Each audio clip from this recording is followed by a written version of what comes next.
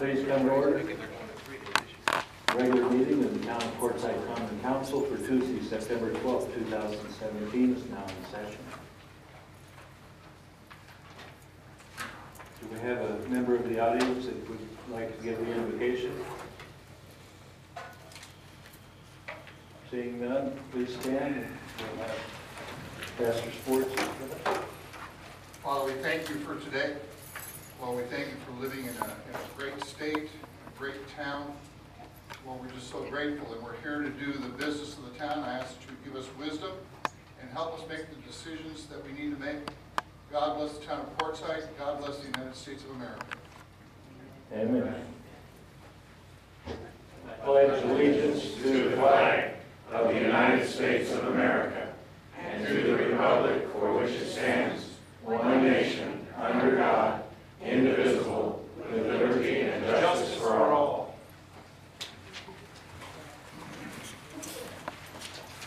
Will the clerk please call the roll? Mayor Simpson. Here. Vice Mayor Warner. Here. Councilmember Swartz. Present. Councilmember Shew. Here. Councilmember Bearcat. Present. Councilmember Kincade. Councilmember Davidson. Item one, call to the public, announcement and communication from citizens. Are you going?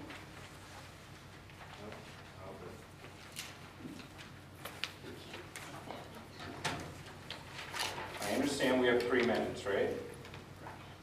Who's running the clock tonight? I have a stopwatch here. I have three minutes, thank you. I'm hitting the button right now. Um, Those of you uh, remember Skylar Miller, former town manager, recently fired from his position uh, where he left to go from here. No big deal, long line of miserable failures. Laura Bruno, um, bankrupted California town. Alex Taft, the former tarot card reader. Dan Field, a criminal. They've been all the same. And they've been loved by the people who love what's going on here. Rain, our reporter, supported every single one of these people, including this, and including the good old girls club and various town organizations politically connected. My frustrations are with the lies. You know, never keeping promises, Jim, you've never kept a single promise with me. Everything you said you were gonna do, never did it. Um, even at the last meeting, two meetings before this, I asked you about a check to Monica Timberlake, and you lied to me and said that's just the way they did it last year. Phil Cushman uh, told me, no, the people paid their way. For some reason now Mana gets subsidized, and the bullying, I still get bullied by code enforcement. Um, You know, hauled before the courts and all that stuff, when everybody else is doing the same, and missed opportunities, so many missed opportunities in so many ways, you guys just keep blowing it. And why? Why do you guys hire people who don't care about Quartzsite? Really? You know, why do most of the employees, and especially the top dollar employees, they don't even live here? You know, last meeting, wastewater sewer plant, it was a great example. We had this big presentation of all the problems with the plant, and the bottom line was negligence. Things were, you know, abused and forgotten about, and never done. Workers obviously didn't bring things to the forefront. And I believe that's done for politics, so that, you know, you can saddle us with a $6.3 million wastewater treatment plant we don't really need. And there's no accountability for this bad management. In fact, they seem to be rewarded here. This town is contracting, it's not growing. Your policies and your actions ensures this continues. You are always looking to increase revenue, which means more taxes. No way around that. You guys have no concept of low taxes creates prosperity. None. You guys do not have that in your head at all. You know, this, uh, you know, the people don't back you. Um, this Quartzsite uh, sewer water, wastewater treatment plant, at the last meeting you kept talking about uh, Q Mountain. They don't back you. the Colorado River water uh, allotment, the town didn't back you, that should have been, a- keep looking at the clock, that's not that important, Norm, you should be listening to the message, not the clock. Thank Okay, you. I'll be done, so, Your time is up. bottom line is keep it up, Skylar's successor. You are following in the same infamous footsteps, and thanks for the lessons and the fun. Anyone else?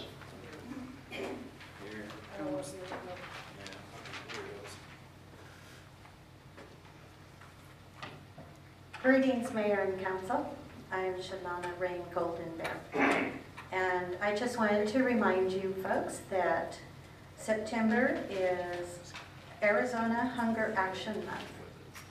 And Governor Ducey declared September at Arizona Action, Hunger Action Month to raise awareness for Arizona's most vulnerable populations and the community members who donate to help citizens who need it most. Now, this is interesting, the world's first food bank celebrates its 50th anniversary this year. And they're kicking off their golden anniversary festivities by joining other food banks across America by raising awareness and encouraging the public to make a special effort to help those in need during Hunger Action Month. Poverty is a real problem for Arizonans. We know that right here. And to let you know that Horizon Community Bank is working with the Friends of the Quartzsite Food Bank for Hunger Action Month to help raise funds and collect food items. You can stop by the bank Monday through Friday, 9 to 4, to make a donation, and y'all know where that's at on, on Central. And there's also a lot of boxes around town where you could make those donations. So I'm encouraging Quartzsite residents and visitors to really step up and donate this month to our local Quartzsite Food Bank. Thank you.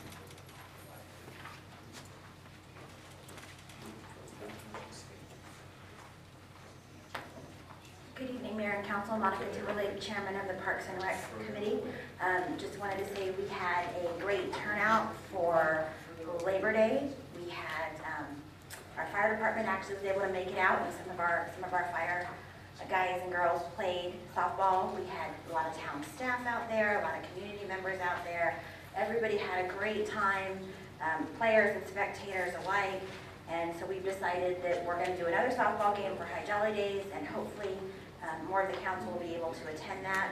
Also wanted to uh, just remind everybody that Parks and Rec is currently working on our Halloween event, which is, we're going to happen the the Saturday before Halloween. But we have a planning meeting tomorrow um, at the community center at 5:30 that is open to the public, and we are always looking for volunteers. And council members, you're more than welcome to volunteer, we would love to have you. Thank you. Anyone else?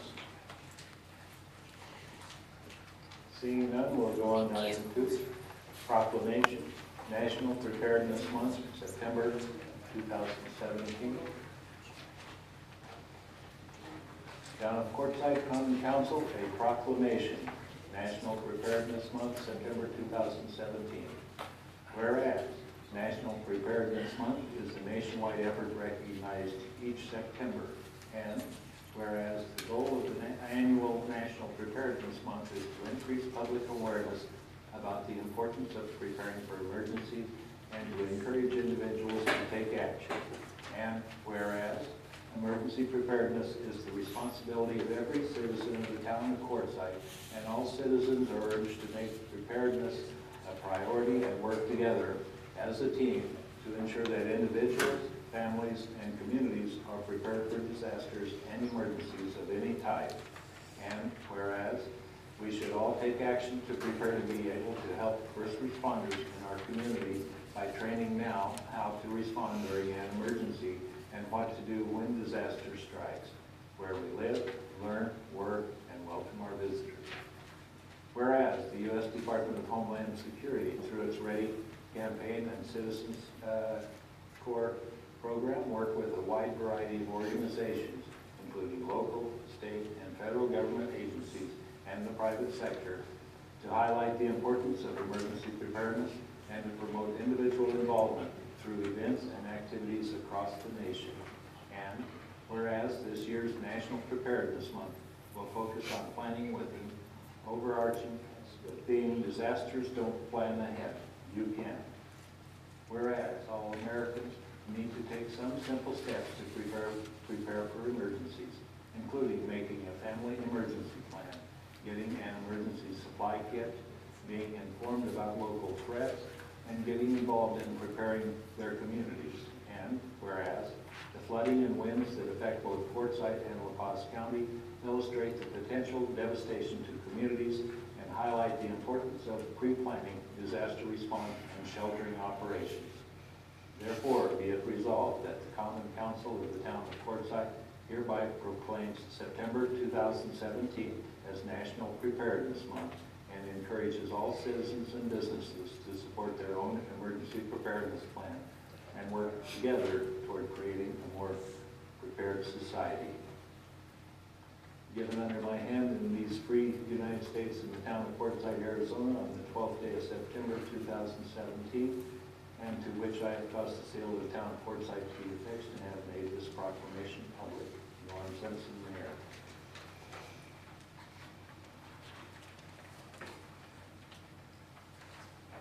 Item three, presentations. Skip Becker, President and CEO of the La Economic Development Corporation, to provide information regarding the organization.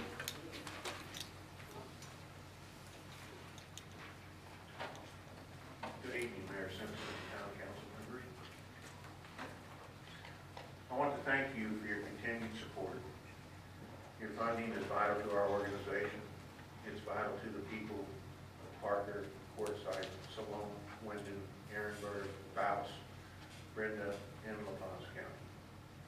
I want you to know I take your contribution seriously, and I believe your return on investment in this organization is second to none. I look forward to serving you for many years to come. Today, I want to take some time and tell you the complete story of the La Paz Economic Development Corporation. I will remind you just how difficult it has been. I will show you the fruits of our labor. Look around, Parker, Quartzsite, Dallas, Salome, the Parker Strip, and La Paz County. We are experiencing unprecedented growth for this region against all odds. On February 19th, I celebrated my fourth anniversary as President and CEO of the La Paz EDC. As I reflect over the last 55 months, I am reminded of our past history. Recently, Roberta Hoffman, the chairman of our board of directors, told me she found notes dating back to 2008 when she and D.L. Wilson had meetings about forming this organization. The company officially started business in 2010. My first day on the job, I met with the board of directors. After that meeting, the books were turned over to me, and I asked DL for his client list and project completion list. The company had only one client. We had done nothing for this client, and they were on their way out the door. We had no, we had completed no projects and had less than eight thousand dollars in the bank. For all practical purposes, if a company came to me today, had been in business for three years, had no clients, no money, and had completed no projects, I would tell them to close the doors. That's just the facts. Some two weeks later, Roberta came to my office to tell me that I needed to present to the town of Parker, much like I'm presenting to the town of Quartzsite tonight, for the company's annual funding. At that time, Parker contributed ninety-three hundred dollars a year. Roberta told me the council was split, but she was sure we would get our funding. I explained to Roberta, I'm not a fundraiser. I'm a projects guy. I'm a community person. I believe if you put the work in, the money will follow. I presented that evening to the town of Parker, much like I'm presenting to you tonight. I asked them to trust me, and I would create change. I told them they would be faced with many tough decisions, as you heard tonight. You guys are always faced with tough decisions. But change was necessary. I did not ask for money. That night on our way home, I asked my wife if she would let me and us put our goals aside and put our own money into the company. I reminded Carol that we came here to serve, and I cannot run this company at its current funding level. Carol agreed, and she let me know that we were not going to invest our money with me working only part-time. You see, folks, when I was hired, for twenty dollars an hour for twenty hours a week. By the end of twenty thirteen, we had supported this company with forty-four thousand dollars of our own money. I even went more than one month without a paycheck. Most people didn't know this, but we landed the Rose Acre Farms project that year. Carol and I covered all of those expenses. I averaged more than seventy hours a week in twenty thirteen. That year, the company did receive a shot in the arm from the Industrial Development Authority, really helping us move forward. Each year since twenty thirteen, Carol and I have walked away from more than ten thousand dollars of re- unreimbursed expenses, just to keep this company going. To date, we have invested more than seventy-one thousand dollars into this company, La Paz County, and into this community. In 2013, the first project I landed was an agriculture endurance test facility located in the southwest corner of La Paz County off of the 75E exit on the I-10 corridor. The next project was in the town of Quartzsite, the first Tesla supercharging station in Arizona. Next was Rose Acre Farm. Just didn't tell anybody. That's how economic development business works. I also completed a confidential project and worked on projects bringing developers I had worked with in the Midwest to western Arizona. In 2013, I had the vice president of the Arizona Commerce Authority out to La Paz County visit project sites. I also had a client meeting with the State Land Trust Department. I was already building a name for myself and this company on a statewide level. The most important thing that I started and began to implement was my own strategic plan. I identified what I felt the area needed. I identified what development problems I thought were keeping the area from progressing. The first economic driver I identified that I wanted to be involved with was the Arizona-California Railroad. So I started working on building a relationship with Tanya Cecil. Tanya spent, a great deal of time with me, educating me about the railroad. Many other people at the Arizona-California Railroad have played a big part in my railroad development. Rick Spearing, took over for the late Tanya Cecil, is one of my newest board members. I also identified local failures and experience as one of the, the main reasons for stymied growth. What I identified was many people had great ideas, but really had no idea how to bring a project to fruition.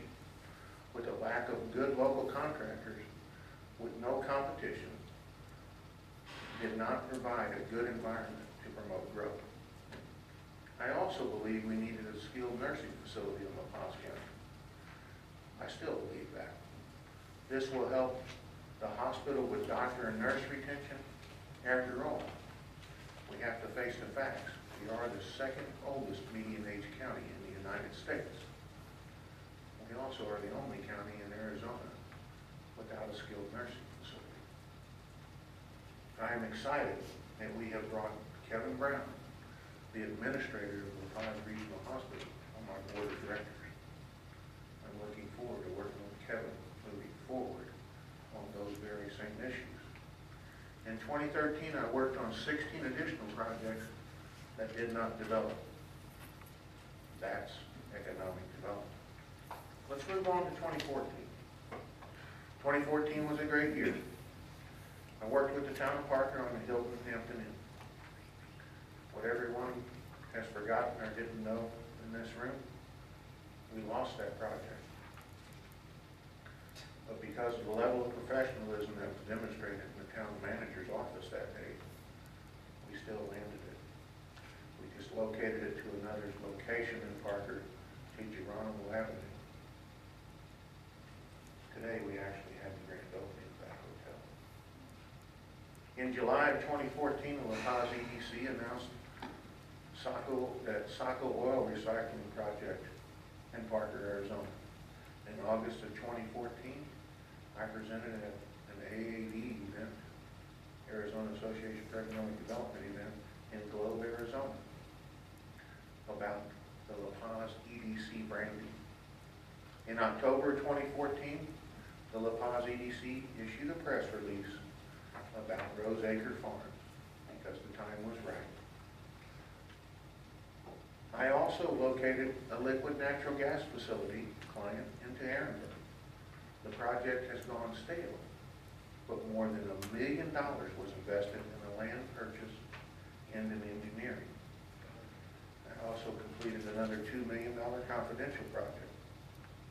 In 2014, I worked on an additional 31 projects that did not develop. Two of those projects I invested more than 300 hours in. In 2014, I met with the United States Department of Agriculture, working on financing for local projects. Again, that Hampton Inn that opened today received its financing through USDA. The Arizona Commerce Authority was also a a group that I spent a lot of time with in 2014, and the Arizona Association for Economic Development. 2015 was another great year for the La Paz EDC. During one nine-day period, the La Paz EDC hosted three groundbreaking, four grand opening ceremonies.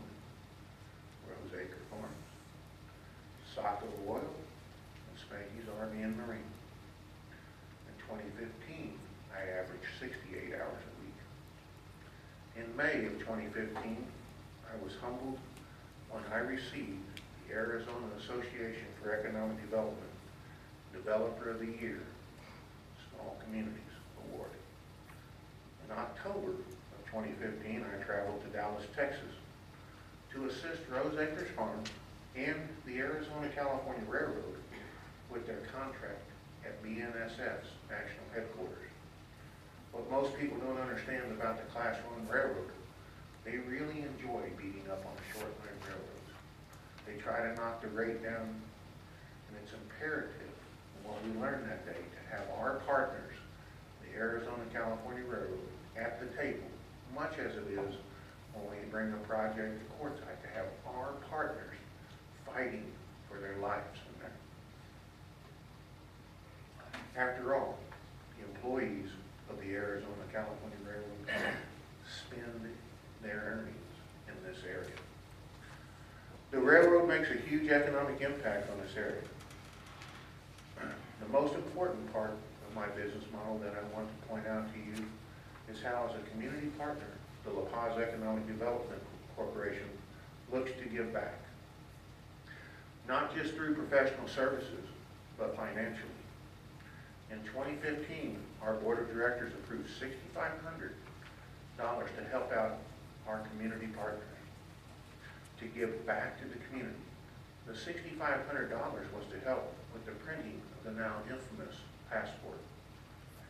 This is a huge commitment for the La Paz EDC to make. Understand, my company gave $6,500 to this, and I walked away from 10 grand. Understand that. The passport has been a huge success. The oversight of this project has changed the way our organization looks at using its finances. Most people didn't know one of the largest contributors to that first passport was the town of Parker. They were left off of it. Again, I want to be clear, we take your contributions seriously. Our business model is to return to the community and to help others. We will just have to make sure that our organization has complete fiscal oversight over anything we contribute to in the future. And we have, and actually, we've now formed a better committee for that. Linda Goldberg from Quartzsite, very involved in doing a fantastic job. In 2015, I worked on 34 projects that did not develop. More than 15% of my time each year is spent on the I-10 corridor. Many businesses and companies are looking to locate just outside of California to escape the burdensome taxes, business environment, and environmental regulation that state's mandates to operate in. They have identified their markets as Los Angeles, Phoenix, Las Vegas, Tucson, and San Diego. I meet each of those opportunities with professionalism and enthusiasm, and again, more than a million dollars has been invested because of my efforts along the I-10 corridor. In 2016, the Paz EDC had nine projects under construction. Spanky's RV and Marine completed construction in May of 2016. The Hilton Hampton Inn, obviously under construction. Rose Acre Farms had six separate projects under construction. The Cliffs, a 70-home housing development upriver from Parker. In June of 2016, I was elected to the Arizona Association of Economic Development Board of Directors. This position is very important to the amount of exposure La Paz County, the town of Quartzsite, the town of Parker, Salome, Ehrenberg, and and Wenden receive statewide. In the fourth quarter of 2016, I was selected as the vice chairman of the AAED Rural Committee. It's the main reason why in August, in the town of Parker hosted the Arizona Association for Western, Arizona Association for Economic Development Western Rural Roundtable. Many of you attended that event. Again, professional economic development. In 2018, I will become the chairman of the Rural Committee. In November of 2016, I presented at the American Shortline Railroad Association Conference in Oklahoma City on how shortline railroads and professional economic development organizations work together to build a better book of business. In 2016, I worked on 20 additional projects that did not develop. 2017. 2017 brought change to our country and to La Paz County. The people want a change in leadership, and our county leadership has made several changes. But it's pretty cool now to, to be able to state that in La Paz County, Arizona, we have the nicest egg production facility in the United States, if not in the world. And we have several of the finest farming operations in the state of Arizona. It's nice to go to the League of Cities and Towns, be recognized by the CEO of APS for all the economic development activities happening in La Paz County. Those activities are directly related to Quartzsite's investment in our company. The organizations that La Paz Economic Development is working with, corporation is working with in La Paz County, are conservatively responsible for more than three hundred million dollars of capital investment in La County in the last four years. More than ten million dollars have been invested within the town of Parker. The La Paz EDC currently has several projects under construction. A couple of these projects are within the town of Parker. Again, the Hilton Hampton Inn grand opening was held today. We have an office building remodel under construction. The new Jack in the Box is slated to open in November. We broke ground on a new O'Reilly Auto Parts store last week, and that's just the tip of the iceberg. In January of 2017, I was selected to serve on an eight-person statewide task force whose total focus is rural Arizona. This is the best of the best within the Arizona Association for Economic Development, and I'm honored to be selected work with this group of professionals to develop legislation and resources to grow rural Arizona.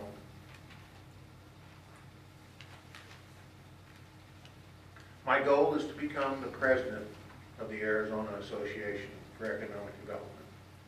And the chairman of my board of directors has voiced her support for this. We need the exposure for the town of Parker, for the town of Quartzsite, for Salome, and the surrounding communities. I'm a respected member of this within this organization, and I was selected by my peers to present at this year's AAED Spring Conference and again at the League of Cities and Towns last month. Again, gaining exposure for the people I represent. Now, let's move on to the fun part of this presentation. That's, that's all kind of the history, you guys have to be caught up. Four months ago, I enjoyed my greatest day of president of this company. That day involved taking the chairman of my board of directors, Roberta Hoffman, Mayor Dan Beasley, from town of Parker on a field trip to visit Rose Acre Farm. And to show them some of the projects that I've been working on. I must tell you, again, I'm a community guy. That day meant more to me than any personal award or being elected to any board of directors. That day, they got to meet with the matriarch of the company, Mrs. Lois Rust, and her son John. Elias Hendricks, and, and Elias Hendricks. They were both visiting the farm so that they could see the first truckload of eggs leave the farm.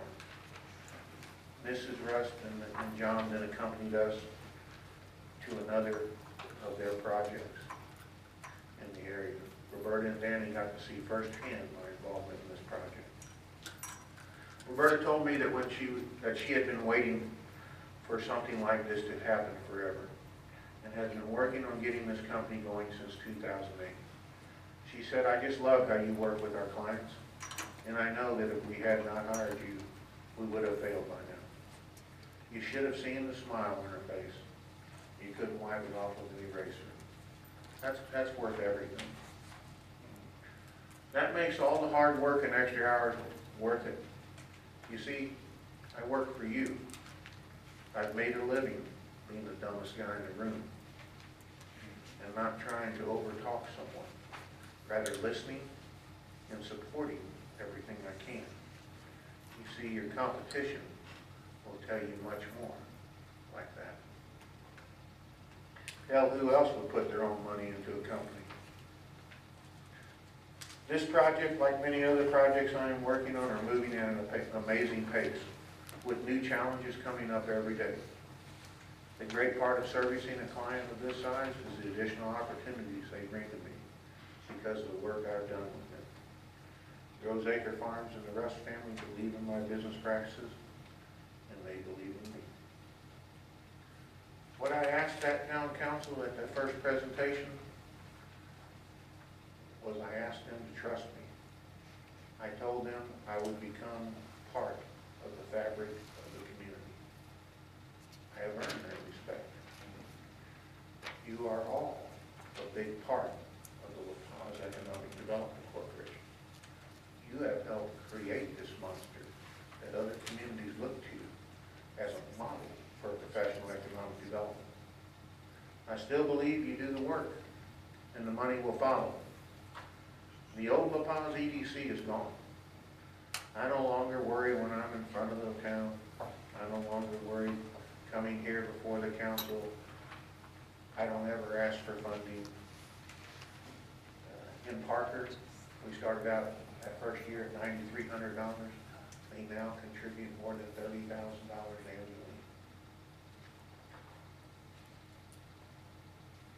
I no longer worry about my friends and the organizations that have contributed. Last year, one of our many partners, uh, McMullen Valley, one of their members, Bill Arthur, gave the EDC a thousand dollar bonus out of his pocket for the work that they've done. Hopefully, La Paz County will figure out the return on the investment in this organization is second to none, and we can receive our funding for 2017. The question I am most asked all over the state is how do you do what you do in La Paz County and in the towns you represent with the odds stacked against you? My answer to that is always the same. I have no intention of giving you the keys to the kingdom. My methods work. The basis for those methods are simple. Service to others first. Always listen. Gain respect. Build a network. Become part of the area you represent. And always be the dumbest guy in the room. Again, you get a lot more information out of your competition that way. I love my job. It's not easy creating change. It's something we must do, or we will remain the second or third oldest and poorest county in the United States. We have many exciting projects in the works. We are gaining new projects and clients monthly, and we are making La Paz County and the towns we represent a better place to live and work.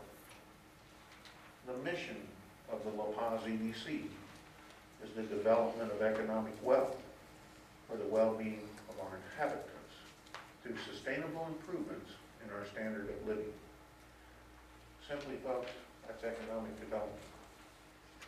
Thank you again for your investment in this organization. I want to tell you that two weeks ago, I called Mayor Simpson. I have a project I'm working on in this area. Again, it's confidential. I asked Norm if there was 40 acres in the area. Um, I was able to find that 40 acres. He told me he'd get back with me, but uh, within a day, I, Loretta came to a board meeting and I told her I covered that. Uh, we actually had people on site just outside of your town yesterday. Not the first time, it's not the second time, it's not the tenth time. As you, as you see when I went through that list, projects come and go in this area. They, I-10 is a very vital corridor. It's just gonna be, it's just gonna take some time and some investment to land the right opportunity. It'll come. You gotta understand, when I, when I read through this, this company started in two thousand ten. Not one project broke ground until two thousand fourteen. So a lot of people have invested a lot of money. Thank you. Could you answer some questions for us? Absolutely. Questions, uh, Mr. Gregg? Could you highlight some of the problems we have with development in the Quartzsite area? Some of the things that we need to pay attention to and be working on? Okay, you know what, again, I, I identified problems in the area. I think you have to have three things to have development. You have to have healthcare, you have to have education, you have to have opportunity. Then, you move into the three things I have to deal with after that. You have those other three things right away. Land, power, and water.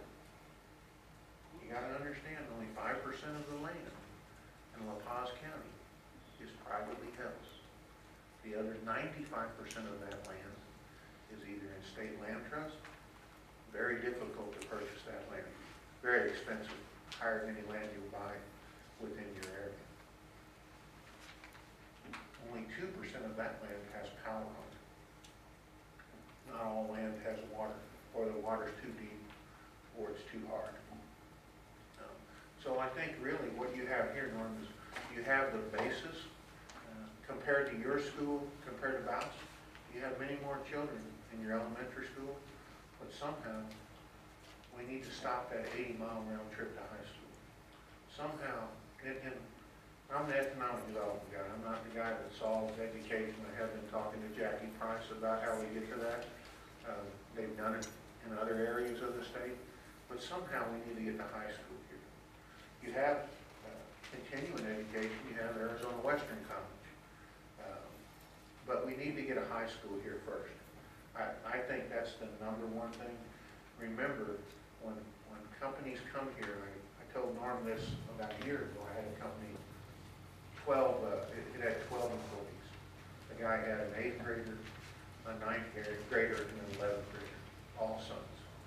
And he was wanting to move his manufacturing company over here from California.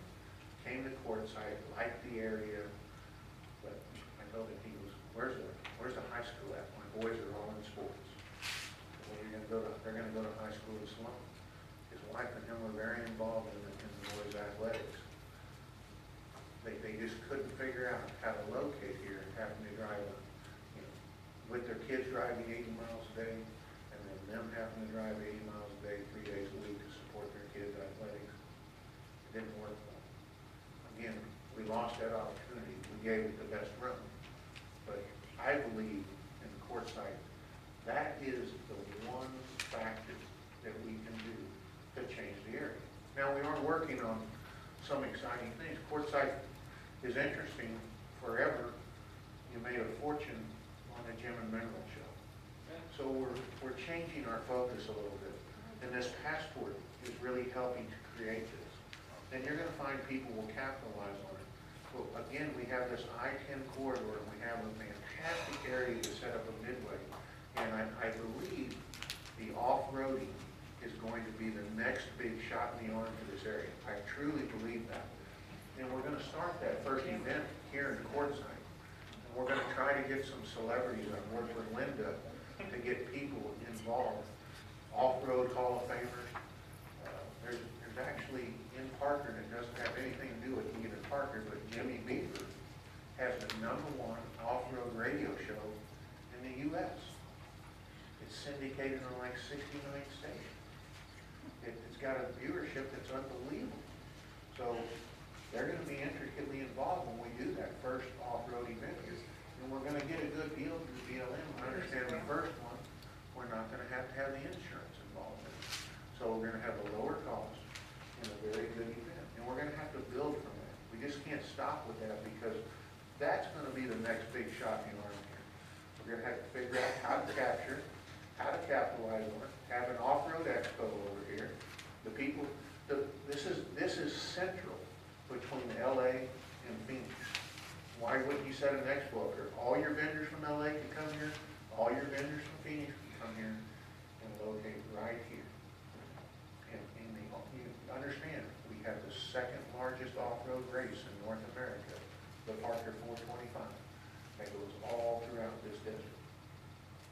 I think that's our next big shot, but I really believe education the next thing, and, and somehow we need to expand the hours of the clinic. Somehow we need to do that, working with the hospital, you know that, Norm, you've been on the hospital board forever. Uh, Again, healthcare, education, and opportunity. And from that, you'll have other problems that come, good problems, lack of housing, things of that nature. Deal with those as they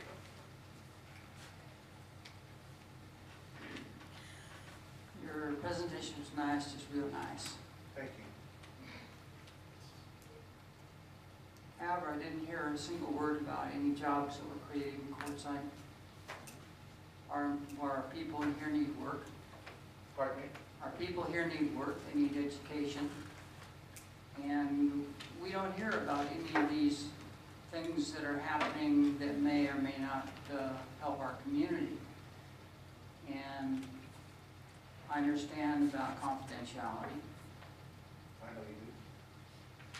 But the people need to know that things are moving and, and things, there's hope that something's gonna come into town. We've had hotels that have, uh, tried to come in, they aren't here yet.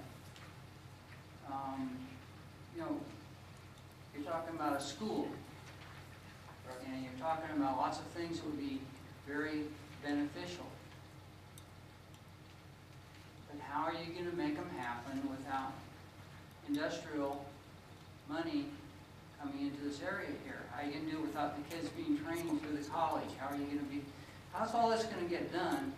And you say you are the ramrod behind all of this, And if that's the case, there's an awful lot around Quartzsite that isn't getting done.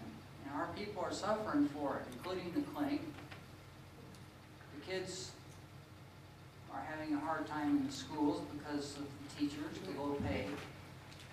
And I'm, I'm just not hearing anything that benefits Quartzsite. I hear for all the other little towns around, they get this, they get that. And Well, I can so far, we have nothing in Tesla, it has no jobs attached to it uh, of any meaningfulness.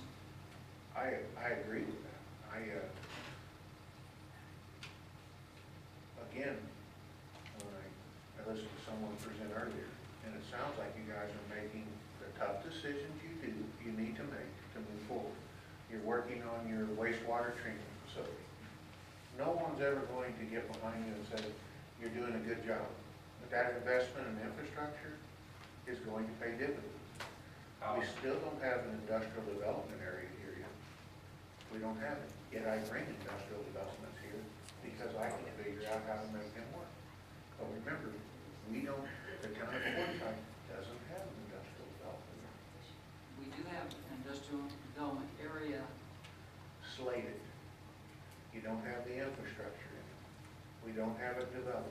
that's all part of the development. Again, I had people here looking at forty acres yesterday. The, and we'll see if that comes to fruition, we have to put that together when we do. They, people don't like to have that exposure. I understand, I'd like to land a project. You go, most places in my business, go eighteen months and not land a project. We're very lucky, we have eight, nine, ten of them going right now. Actually, we have eighteen of them going right now.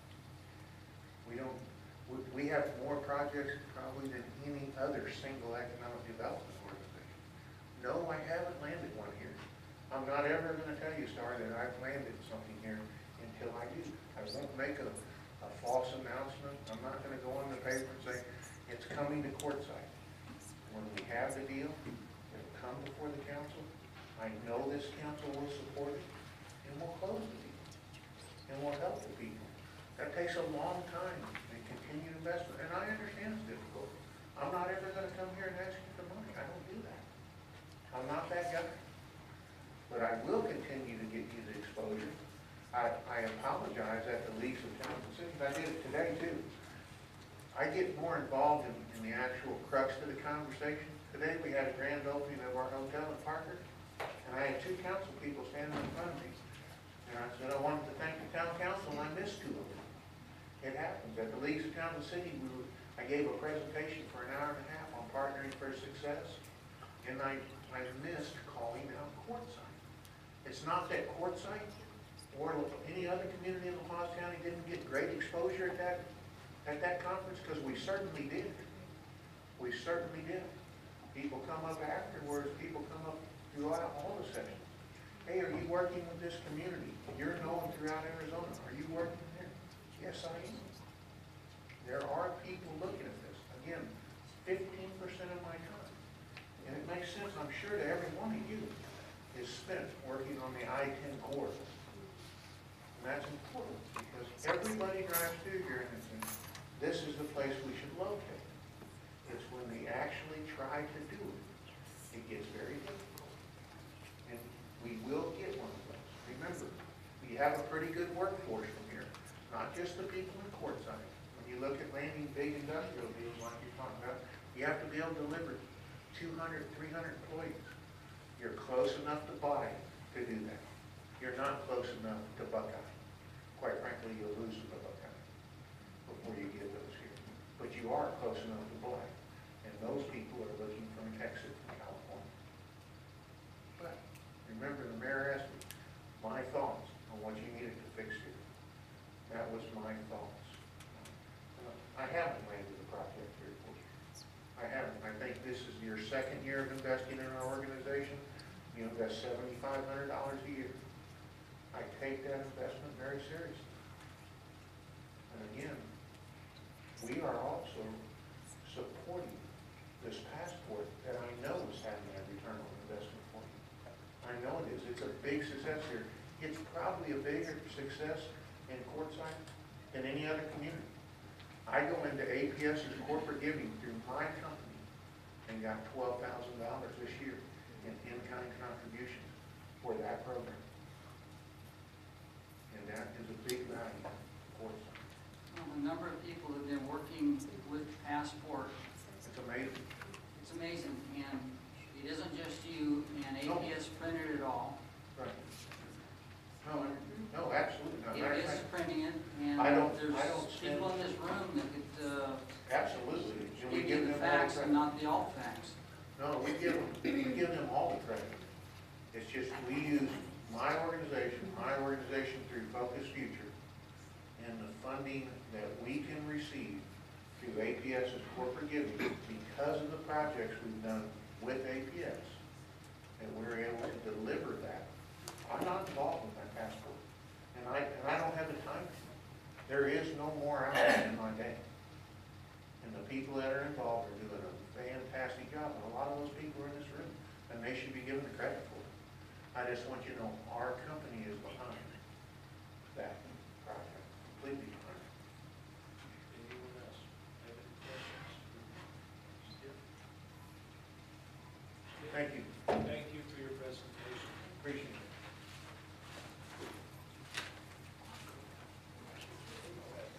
Next item is the consent agenda. Include the minutes and the ledger of accounts payable. can't hear Nora. I'd like to make a motion to include item eight uh, in the uh, consent agenda. Unless there's an objection to the appointment. Motion to include item eight, and that's the reappointment request to uh, uh, Carol Lynn Stimson with Hi Jolly Cemetery. Doc-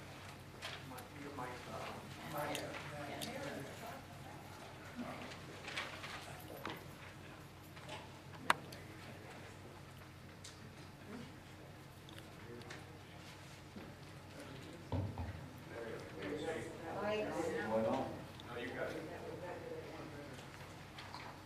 Okay, we have a motion to include item eight, consider the reappointment of Carol Lynn Stimson uh, as a regular member of the Hi Jolly Cemetery Board. Do I have a second to that motion to include? I have a motion and a second to include item eight in with the consent agenda. All those in favor signify by saying aye. Aye. Aye, okay, it'll be added to the consent agenda. Items four and five are minutes and the ledger of accounts paid.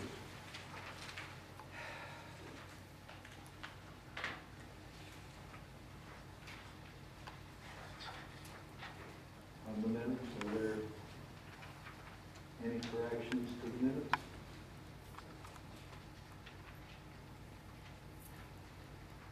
Ledger of accounts paid, are there any items to be removed for separate discussion and action? Seeing none, I'll accept the motion to approve the consent agenda. I make the motion to approve the uh, consent agenda. Second. I have a motion and a second to approve the consent agenda. All those in favor signify by saying aye. Aye. Aye. Motion carries. On to item six, under business, amendment of council procedure policy. Possible adoption of amended Quartzsite Town Council procedure policy reflecting the recommended changes by the town attorney. Thank you. Thank you, Mayor, members of the council. Uh, You may recall that in July, I made a presentation to the council regarding, regarding uh, the procedures that uh, you have adopted, as well as some recommended changes to those procedures. And we walked through the uh, changes that were recommended. Uh, Primarily, they're driven by a couple of of adopted changes that were made but had not yet been incorporated into the written procedures. They were driven by um, uh, some changes in the law and some changes that were required to be consistent with the law. And then there were some changes addressed uh, primarily to um, procedures related to decorum at the council meeting involving public comment uh, and So with your permission, I would like to walk through a few of those, I'd like to walk through all of the changes. You have them in your packet. Uh, The capitalized text in your packet is new text, and the strikeouts are what we propose to strike from the, from the rules. The first change is not, is on page five. Uh, relates to the appointment of vacancies in the council. As noted in the, uh, after the the capitalized text, uh, state law was changed a few years ago to uh, require that, uh, in general, a vacancy will only be um, an appointment for the unexpired term, and if the vacancy uh, becomes a vacancy within uh, more than thirty days before nomination file, then it's, then the vacancies build up until the next regularly scheduled election. This proposed language is right out of the state law, and we recommend making that change. The next change is in paragraph five on the same page. Uh, the original text said compensation of elective officers of the town shall be fixed from time to time by resolution of the council. I added in accordance with Arizona Constitution Title 4, Article 4, Section 17, Part 2,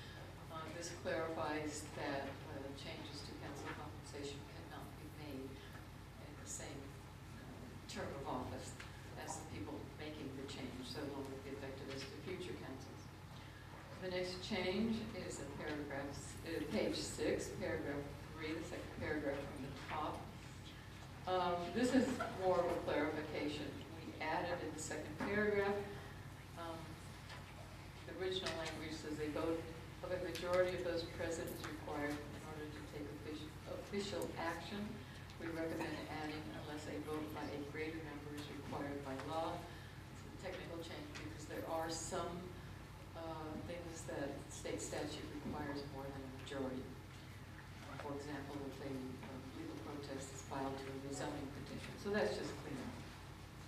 Um, On page seven, paragraph ten, of the town attorney, this is a change that was made earlier this year by ordinance seventeen one We added the last sentence that says upon approval of the town manager, the town attorney's attendance at a council meeting may be by telephone.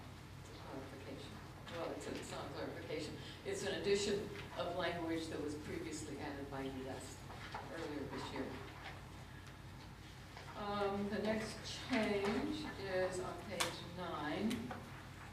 Um, uh, under section three, types of meetings, under regular meetings. Uh, you previously adopted a resolution that provided that you will set the days and times of your council meeting by resolution. So we just reflected that in the update. Um, Now, the big, probably the biggest change is on page ten, section five. Um, Oh, I'm sorry, that's not true. The change in, under order of business is again a cleanup.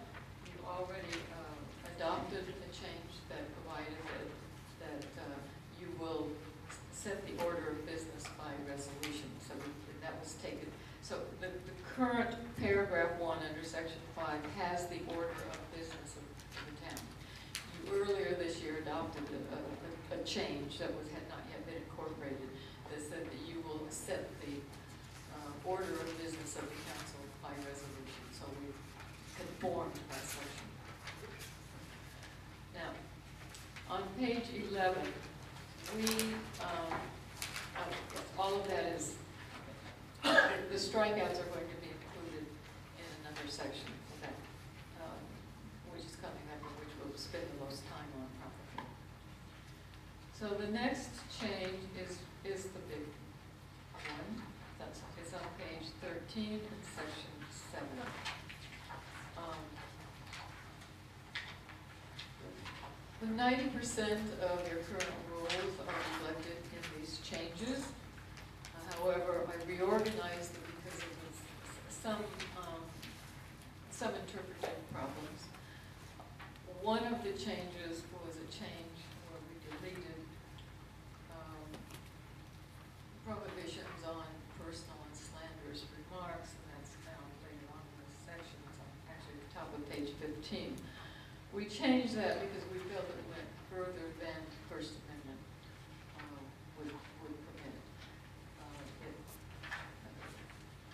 So why don't I walk through a revised section uh, seven to sort of explain the structure. When we were, when we were uh, updating this section, uh, we realized that there were, there were some things that just were a little bit confusing. And so I, I revised it to be one section on addressing the council general rules.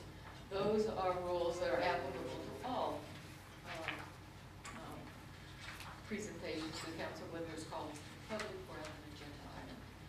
And so I put all of those together in one place under addressing the council general rules. And then, on page fourteen, is addressing the council agenda item. I'm sorry, addressing the council communications from citizens. Um, This is, is the same as what you currently have, uh, except that I moved three-minute limitation to the general rules, because you have three-minute limitations for both agenda items and all the public, so I put it all in the general section. So that shortened the, uh, communications from citizens section. And then I added an addressing the council agenda item. Uh, again, mostly it's clarification to reflect what I had moved to the general rules, so it'd be easier to, to read. Uh, what- Some of the things that, discussions with the manager that we focused on a little bit was there, there are provisions in your rules that you do not enforce. And if you don't want to enforce them, we recommend you remove them. For example, the current rules provide for, um, um, people who wish to speak filling out a request to speak form. That, that's in your current rules. If you don't want to do that, let's take it out. If you do want to do that, let's, let's do it. So that's our recommendation. It keeps, keeps things orderly and it helps you have a, a, a record of who has spoken in minutes.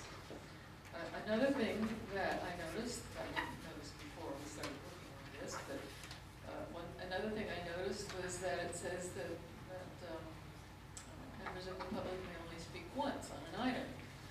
Um, it's in your existing rules. If you want to change that, let's change it. If you want to keep it, then we should probably uh, enforce it. Um, But I left it because um, it was already there and I had no reason to change it. That's a policy decision of the council. Um, What I deleted on page fifteen at the top paragraph two is a statement about any person making personal, impertinent, slanderous remarks or who shall become boisterous while attending a council meeting may be requested to leave the meeting. We think that it probably goes a little far, and so we um, revised that, and you'll find the revision back on page fourteen under general rules, that says behavior that violates the rules of order, you have the right to adopt and enforce a reasonable time, place, and manner restrictions on people speaking at the council meeting. And so we tried to reflect that uh, in, a- in a new provision which takes the place of the the stricken item on page fifteen. Behavior that violates the rules of order set forth in this section seven or otherwise interrupts, delays, or interferes with the conduct of a meeting is prohibited. If such behavior does not cease at the request of the mayor or council member, the individual may be removed from the meeting in order that the council may conduct its business. So we recommend that language. Um, I want to emphasize that um, people who speak, um, because you have called to the, because you have called to the public on your agenda, which you're not required to do, but it's always a good idea, I think. Um, That makes the council meeting a limited public forum, and people have First Amendment rights when they speak at the, at the podium on an agenda item or a call to the public. However, it, it's a limited public forum because what is discussed has to be on the agenda, it's an agenda item,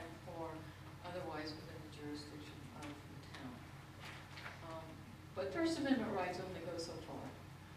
Um, and so anyone who does not follow your reasonable time, place, and time rules can be removed, and anyone who disrupts the council meeting, actually, who actually disrupts the council meeting and, and impedes your ability to do the town's business uh, can also be removed.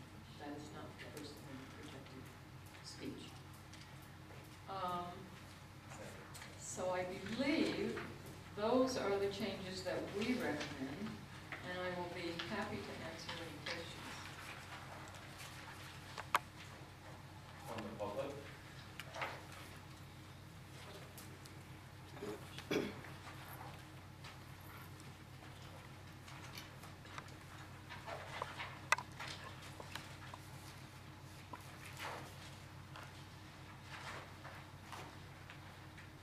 Again, these are your internal rules, most of which you've lived with for a long time, much of which was just reorganized, some of which was to be consistent with law, some was to update according to what you've already.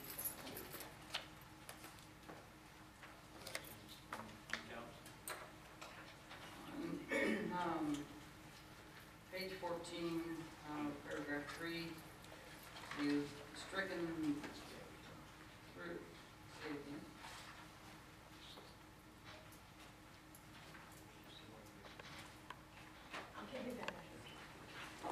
Yeah, on uh, page 14, section 3, addressing council, agenda items, the first uh, sentence you have on there, you've stricken everything out, except two words, will be. Paragraph What three. does that mean? I do. Page 14, down to number 3, addressing the council, agenda items. You have a little arrow thingy, first sentence, you've stricken out everything except will be. I don't know why that, it should be stricken there. Thank you. Yeah, That was not intended to remain. And again, that was one of those that's moved to the general rule, so we don't eliminate the three minutes, but that was an error. Will be, should be stricken also. Thank you.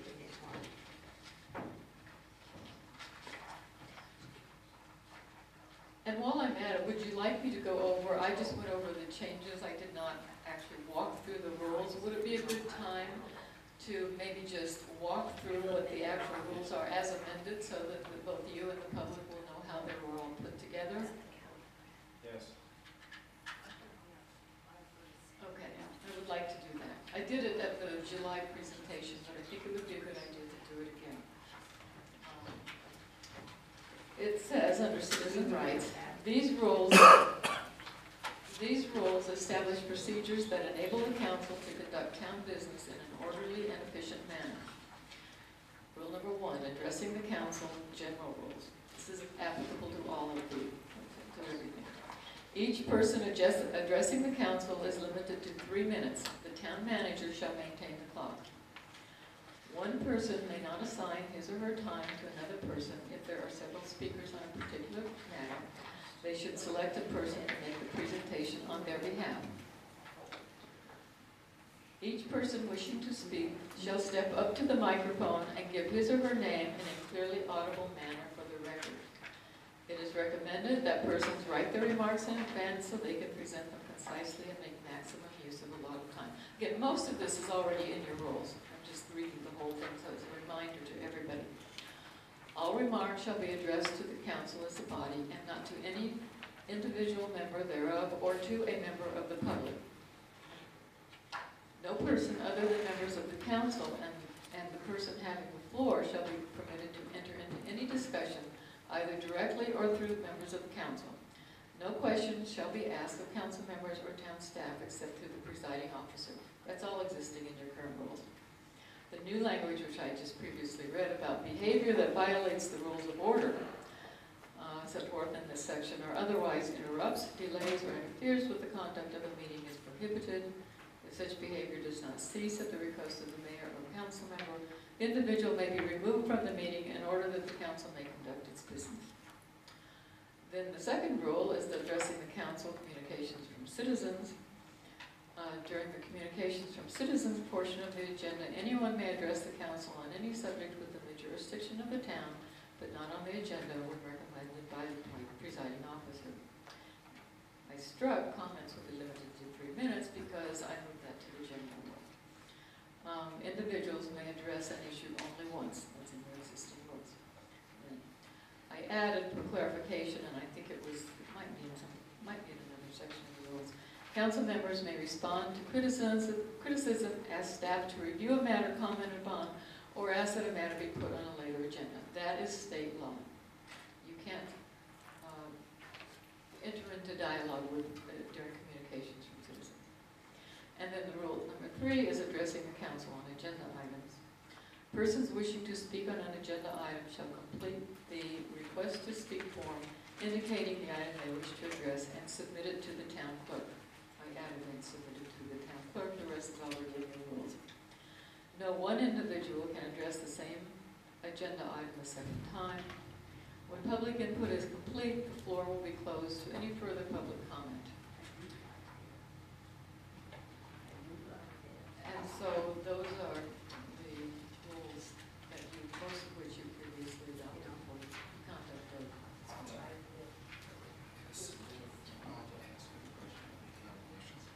On, on this one, uh, under three, addressing the council agenda items, um, is there, I see no time limit, I mean, does it have to be done a day before, two days before, or right before the meeting? And when they, he says, persons wishing to speak on an agenda item shall complete the request to speak form, when does that need to be turned in? all of the, it's usually turned in at the beginning of the meeting, but it can be turned in, you know, that all of a sudden, somebody pop, something, idea pops up in someone's head, and said, oh, I want to speak on this item. They should go back and fill out the form and hand it to Tina. Then she will hand it to the mayor, and It's- the mayor will call.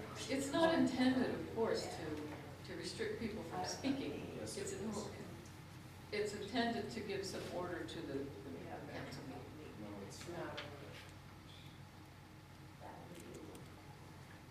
Marilyn? Marilyn? Please, we can hear you up here when you're talking on the front row. Thank you. Can you hear me? I didn't realize. A motion for public input? Anyone? You are not required to, but you could if you want. Yeah, it would be nice. Free speech, First Amendment. Will you please follow the rules? I'm trying to understand them, that's all. I would like to We ask. will be happy to meet with you later or tomorrow to talk about the rules. Please do not interrupt the council meeting. That is what this is intended to- to address. What do you mean?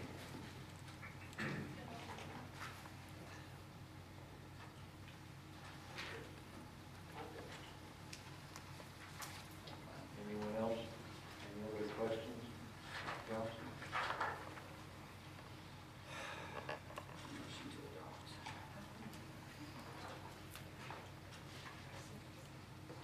Yeah, I do have one question. Is it permissible to publish this so the public could have a copy of it if they wanted to, or is this just for us? We actually talked about posting the um, rules on the wall or or have it, uh, yes. Put it on our website. Okay. I, I think, you know, that would give people an opportunity to read it, especially, I, I like the idea of it being posted here so that people would, Yes. when they come in, they could see that, and then there's no ambiguity or question about what's being said or done. Ab- Absolutely. uh, We definitely want a copy here and on the website. Uh, This is not anything secretive. It's town policy. Uh, Usually we have copies of these in the library. A desk copy of, of all the town's policies and procedures should be available as a desk copy in the library. Again, most of these rules have been in place for a long time. It's just that uh, we're sort of bringing them to the forefront so that you can keep your meetings or- orderly. A lot of changes have occurred that have not been brought up to date in our policy manual. This just uh, brings us up current on just everything that we've already adopted. Do I have a motion? Make a motion to adopt. Second. Yes. Have a motion and a second to adopt the council procedure policy as presented. All those in favor signify by saying aye. Aye. Aye. Motion carries. Item seven, release of lien on property located at 965 West Main Street, and that's uh, uh, parcel number 306-27-035C. Discussion and possible action to release a lien filed by the county for utility fees on property owned by the state of Arizona, known as La Paz, La Paz County parcel number 306-27-035C, uh, also known as Ted's Truck Stop. And uh, would you like to uh, identify that? Mayor and council members, uh, both of us will be uh, speaking to this matter.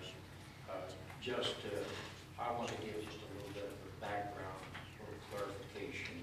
I know some uh, uh, might be rather concerned about us releasing a lien.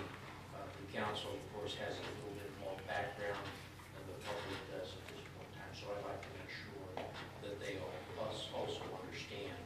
Uh, The, the town did in fact place a lien uh, back in uh, 2009 for $195,000 uh, concerning the cleanup at Ted's Truck Stop. Uh, The town felt that it had in fact incurred expense for uh, uh, both uh, materials that were dumped into our wastewater treatment plant that had to be treated, but also there was some costs related to killing the bugs and that type of thing, so it it might not be true. Couldn't, couldn't you hear in the back? No. Okay, I'm sorry. I'll try to get a little more direct into it. Anyway, the, uh, the, the costs that were incurred, we felt that uh, there was a need to try to recover those. And so a, a lien was filed. Um, Subsequently, uh, the town has had the opportunity to review uh, that lien. And uh, our attorney would uh, like to explain why we feel uh, it should be released at this time. The lien was related to some contaminated water that was uh, run through the town's.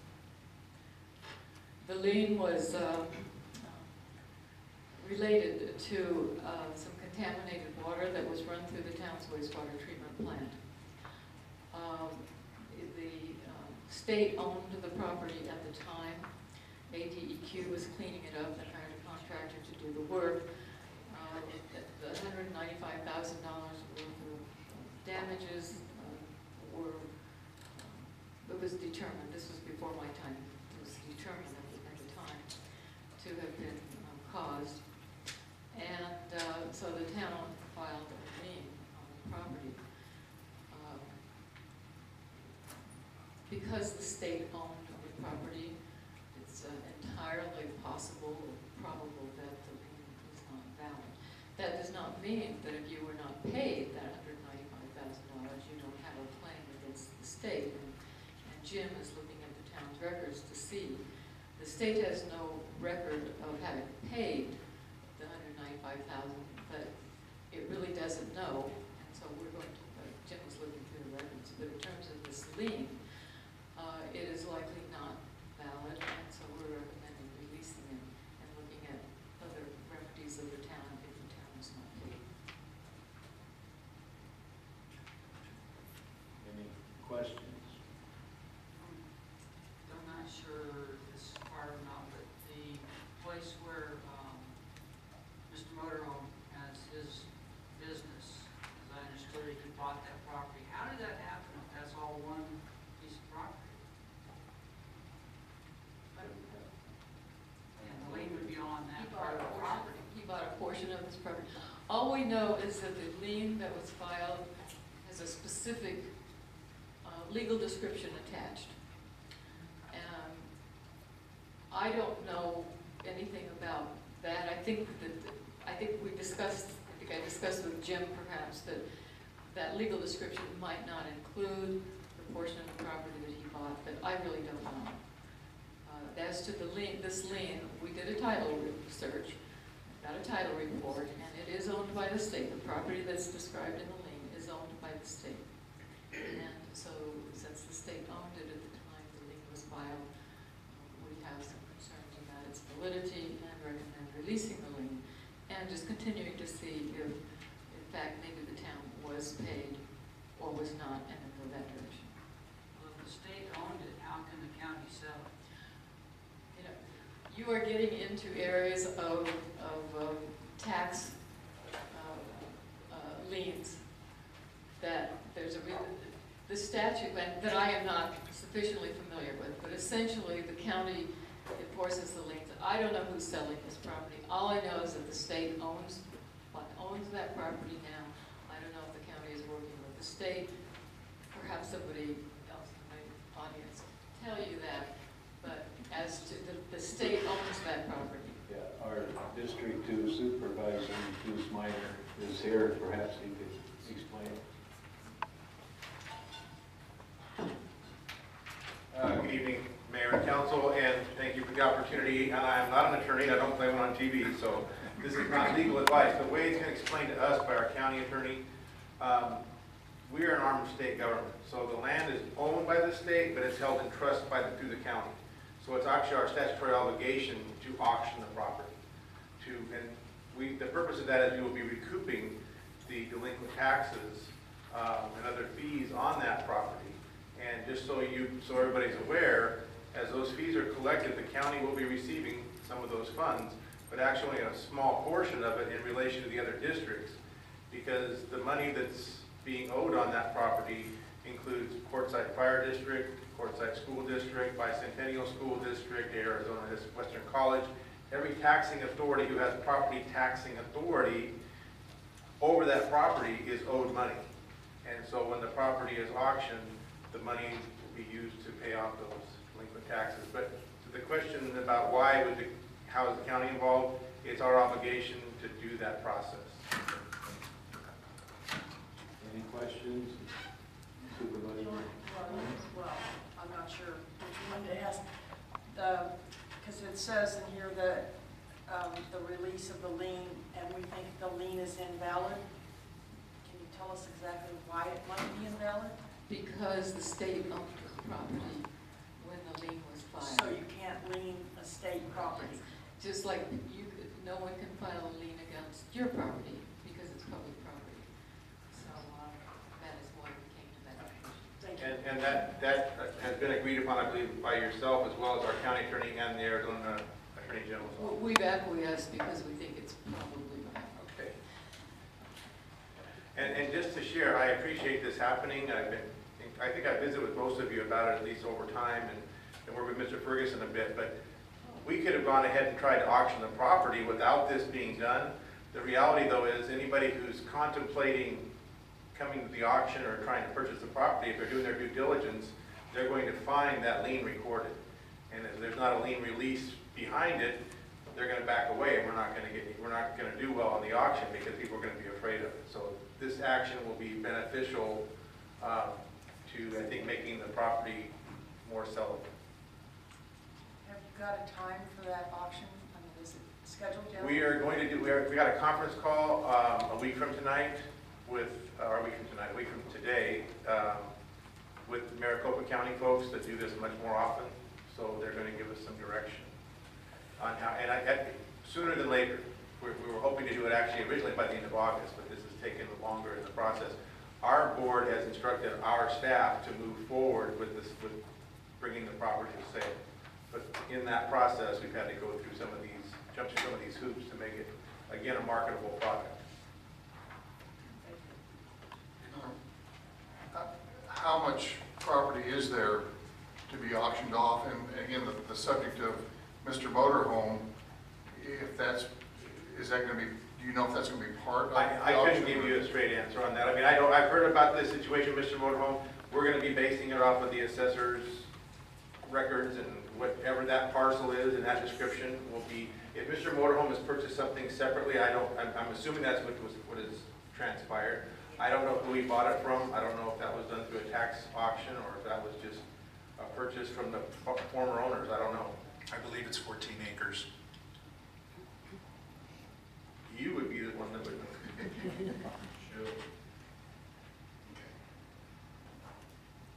you gonna stay for the whole meeting, or are you gonna leave right away? I don't know now. No, I plan on being here. Okay, so I got a question for you after. Okay. Thank you. else Supervisor?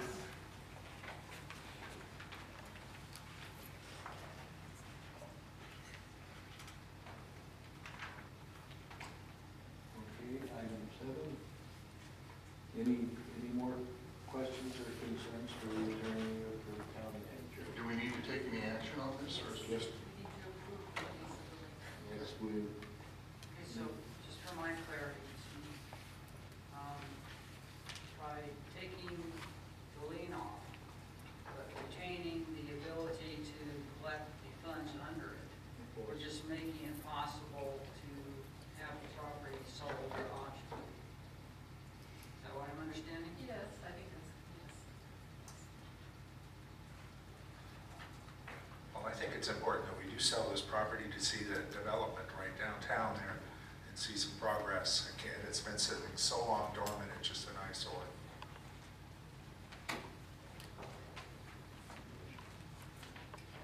we'll accept the motion, move forward. I make a motion that we release the lien on the property located at nine sixty-five West Main Street, APN three oh six 27 35 C. I second.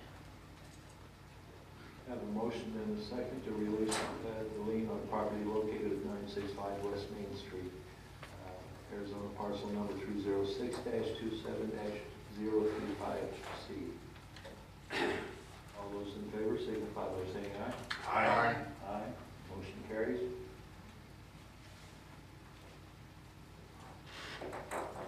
Item eight was uh, included in the consent agenda. Item nine, schedule for utility rate changes. This is discussion and review of schedule for the town of Quartzsite utility rate changes. Mayor and uh, council members, uh, we had our uh, workshop, special meeting uh, regarding this item a week ago, and uh, we decided that uh, tonight kind of set forth a schedule for continuing with this process. Uh, I'm going to pass out for you uh, a memo from our attorney regarding the uh, state portion of it, where the state there is the water rate increases, so that you got that as part of your uh, background information. About that. I don't think I gave you. But essentially, I believe that to further the discussion on this, we should break it down into uh, two parts. If you recall, when we uh, received the information regarding our rates, uh, of course, the community was commended on now being much more stable financially because of the steps that were taken uh, quite some years ago, a few years back, I should say. Um, But it- there were two things that were uh, brought out. One was that you have some policy decisions that need to be made, and then there needs to be a decision as to how you would like to actually address the rate structure itself, okay? The, the, uh, how much each resident is paying and each business. What we would like to uh, do is to address the policy issues first because that drives the other part of the decision. And so we think it would be worthwhile on September 20, this 26, our next council meeting, to bring the policy issues back out again. This gives opportunity for council discussion, gives opportunity for uh, input from the citizenry. And as you will recall, there were uh, three alternatives that were brought out. Alternative one was the kind of the status quo, that is, you leave the structure of our rates the same as they are now. Uh, Alternative two was a seasonal approach to the rates, and alternative three was a shift from the base expense to more of a volume uh, approach on rates. Now, we talked about the fact that we may have a fourth, and the fourth would be a combination of two and three. How that would be structured would be dependent upon uh, your, meeting, what kinds of things come out, what kinds of things might come out from the public themselves. The other item that was talked about as a policy issue was the fact that currently the town adopted some years ago uh, a policy that said if a home wants to put in up to two, up to two hooks for a sewer, that we would not charge them extra for those. That would be included in their base rate. The intent at the time, and the way that it was written, is it was a temporary, and was essentially for guests that may come over and need a place to park, etc. Uh, That is not the way that it has turned out, for the most part. F- Part of it is the fact that uh, many of them are using them year-round, not just for the 90 days. And number two, uh, it's generally not family, but uh, being used more on a commercial basis. And so the policy consideration is whether or not, since they are being used more on a commercial basis, if in fact they should pay the same hook fee that an RV park does for an extra hook. And so that's a policy decision. Again, it, it would affect then your additional discussion of the rates themselves, because there's about 168 of those. And there's approximately twelve dollars and thirty cents per hook per month, times that hundred and sixty-eight is what you would be looking at in additional revenues, which then could in fact uh, help offset any increase that you may be looking at, okay? So it might, uh, it might assist you in actually reducing the overall base for residential, simply by including those. So those are policy decisions that need to be made. We get started gathering information, and part of your packet uh, that you'll have is the uh, um, summaries of the options. Uh, you- You'll have the number of residentials with the extra hookup. Uh, You'll have the number of counts in each of the categories, the number of RV parks, we were asked for that, and the number of hookups per park. I think you'll have enough raw data to be able to make uh, some, at least to have a good discussion about the issue and then proceed from there. We're not suggesting that the decision needs to be made on the 26th. What we're suggesting is that we need to have enough of a discussion to know where we're going with the rest of the rate analysis, okay? So that's, that would be uh, the first meeting that we would like to see. And we know on the 26th, we're also having our presentation on our year-end uh, finances and such, and so uh, we don't want to put any more than that on there, okay? That's, that, we think that that would be money to discuss. Moving then into October, uh, we would begin to look at the uh, rate portion and uh, finalize decisions on the policy issues. In October, we need to specifically talk about the rate study. Now, you have again a copy of uh, memorandum from uh, Gust Rosenfeld, um, specifically from Susan. Thank you. And it outlines what the state requires. So what you, what you have to do initially is you have to let it be known through a notice of intention that the town is looking at changing its rates. That, that has to be sent out with a notice that proceeds by 60 days, any public hearing, which you must hold. You must have a public hearing. But you need to get that notice of intention out there 60 days prior. In addition, you need to uh, adopt the report itself so that it's on file.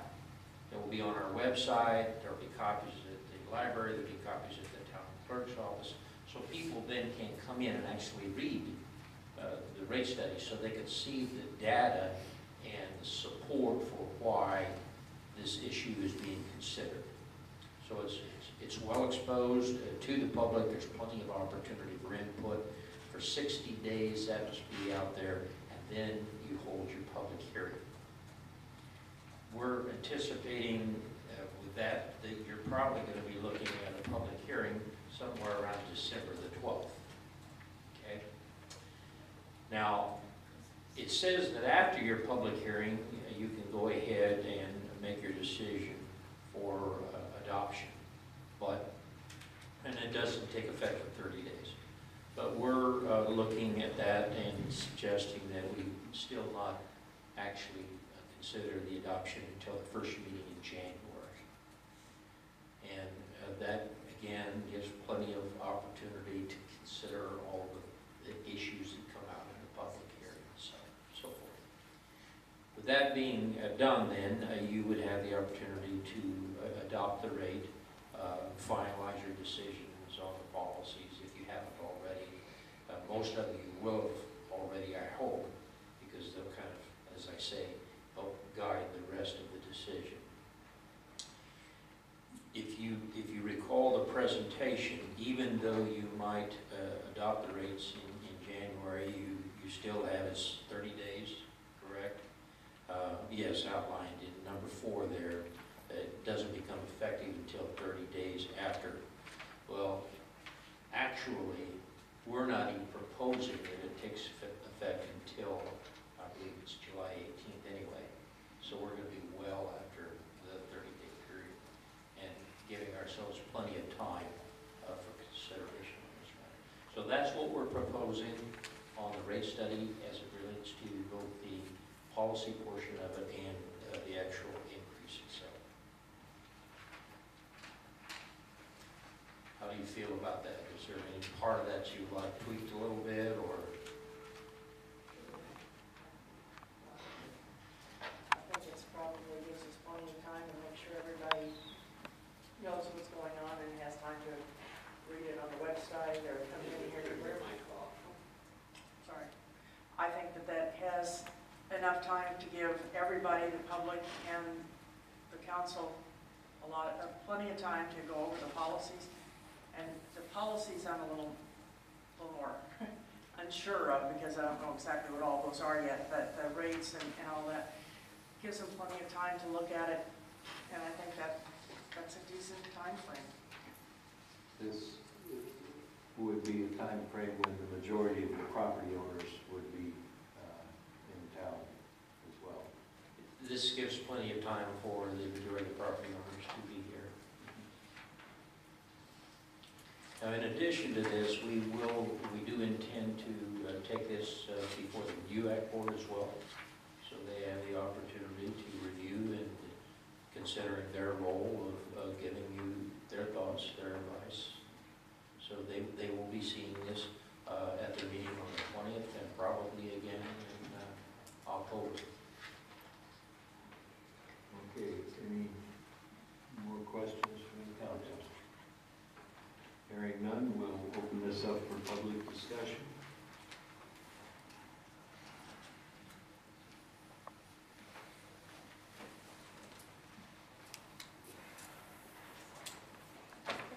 Michael Roth, local resident. Um, Utility rate changes. This was based on the presentation of a week ago, correct? Um, How much did we pay for that study? This, you- you're speaking now on the schedule for the meetings. Yeah, I'm just curious, hearings. because we had a hearing, I mean, a meeting, and we paid them, right? We, we just went over a schedule for meetings. So you're not gonna That's what answer you're that? talking- That's what you're there You're not to gonna answer that? Okay, so these people who gave the presentation about this utility rate change, when will they be available for public questioning?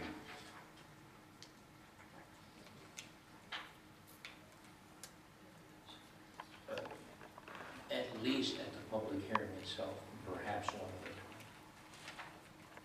December 12th is the public hearing, but. uh, The same, the same folks who gave the presentation are gonna be here December 12th? That's correct. And uh, was this heard correct, uh, possibly charge people that have more than one hookup on a private property? It has nothing to do with our schedule. That's a discussion that would take place uh, at a hearing. One last question, um, because it's been said at a previous meeting, Jim had said that he can determine the rate, the, the cost to process one gallon of wastewater treatment had said that that could be easily determined by, you know, how much comes in, how much comes out. But a quick question, have you guys at all thought about a gray water plan to save us from millions of dollars in new infrastructure that's really not needed in a town that's contracting? I would like to see maybe some discussion about ways we can not feed so much political promises that way. The hearing. Thank you. Anyone else? Okay, we'll close the public comments and come back to the council for the final council discussion. Anyone else? Have we talked to them, to the rate study folks about being here on the 12th yet? I had not confirmed the date of the 12th with them, and so that, uh, that was a date picked simply because it was after the 60 days, so there could be a slight modification in that, but it has to be at least 60 days after uh, the notice of intention. Could I ask when the copy of the rate study will be available uh, for a desk copy in the library and online? and when We, uh, did we get it posted online today? Yeah. So it's online today. Uh, We've actually had copies out here uh, since our special meeting last week. I'll make sure it's in the library as well. Okay. Will there be a list posted for when all the meetings, special meetings and so on and so forth? There will be, I simply needed to get an approval on this uh, uh, timeline, uh, and with the exception of the possible change due to Mr. Jackson's availability, uh, we'll have it refined, and then we will in fact post it. Anyone else? Okay, I'm looking for a motion to approve uh, this as a tentative schedule, subject to approval. I make a motion that we approve the schedule for the utility rate change as presented. Have a motion, Perhaps might be refined as a tentative schedule. Tentative schedule, excuse me. I, s- I make a motion that a tentative, that we approve the tentative schedule for their utility rates change. second. Okay, we have a motion and a second to approve this schedule uh, as a tentative schedule, subject to change if the presenter is not available. Uh, All those in favor signify by saying aye. Aye. Aye, motion carries. Move on to item 10, schedule for wastewater treatment plant improvements. Discussion and review of schedule for improvements to the town wastewater treatment plant. Mayor and council members, uh, with the wastewater treatment plant, uh, we don't have the specificity in that uh, it's not governed by uh, statutes as to how many days and so forth. However, uh, we do have several things that we think need to be accomplished uh, over the the next little period of time. Um, As we pointed out in the special meeting, this has been going on for quite some time. This is not a It actually was initiated about 10 years ago. The last five years, uh, it's, the issue itself has been pretty prominent in the community. Uh, I don't think, uh, since I've been here at least, which is tomorrow officially one day as the the full-time town manager, um, I I don't think a week has gone by that somebody hasn't talked about it in some fashion. So it's, it's uh, clearly uh, an interesting topic uh, for our townspeople. The issues themselves have really not changed a lot in terms of the need. I do believe that there's become a better understanding of what the needs are, and I think some of the last few sessions that the council has had, that the UAC board has had, uh, some of the visits to the plant, et cetera, have helped us to understand what the need is of the plant. Even with the new operators uncovering a number of the problems at the plant. I, I think those kinds of issues are pretty clear. But I do believe it's important that uh, the public have some additional opportunity through a public hearing to chat about those and to give their opinion as to what other considerations there might be. Um, because the town has considered a lot of options, water, et cetera. Those, those are things that have been talked about a lot. And so how they may be related and how they can still be a part of this or, or how something might be changed, that's a worthwhile discussion. So we do need a public hearing regarding that. Uh, we would like to see that, uh, come about somewhere around the seventeenth of October, so we can get this out there, have further discussion about the information received over the years, and uh, discuss what the different options are. Um, That gives um, plenty of time, as you'll recall, maybe some of the folks that are here tonight did not know, but uh, we've asked for people to get us their comments, especially those who were here at the meeting the other day, hopefully somewhere around October 1st, so we can begin to assimilate those, and then by the 17th, that'll even give us a better uh, uh, start on gathering information. So hopefully on the 17th, we can start addressing some of those questions and concerns. Uh, My suspicion is uh, a lot of people, uh, because we've experienced this, they won't get us their comments, but they'll show up on the 17th and still be concerned about something. Uh, Please understand, if that occurs, we may not have the answer, uh, because it it would be nice to have it ahead of time so we can do the research. It's important. We will have, uh, at that public hearing, uh, the uh, engineering firm will be available again, uh, so that any questions that come up of more technical nature, they will be here. Also, the operator of our facility, just as we had at our uh, special session, they will be here so they can help answer any questions related to what our experiences are with the operations of our plant the maintenance that we've been living with for quite some time now. So that being done, then the next thing that needs to be done is a decision as to whether to, to move forward. Uh, At that point, uh, we would need to enter into uh, the contract uh, to uh, finalize uh, the plans, and put in place the documents for bids, also then, of course, we would also need a resolution for the town to uh, place out uh, the the bid documents for construction. So there's a couple of different items that need to be taken care of, action-wise, following the public hearing. We're not suggesting those should be the same day by any means.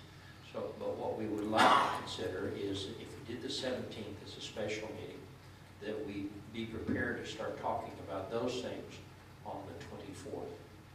Uh, Anticipating that we, we might not finalize either of those by that date, but at least we've got everything rolling. Uh, Once again, this item will go before the MUAC board, so there will be another opportunity with the MUAC board for citizens to come in and give comment there too, if they aren't able to make the council meeting.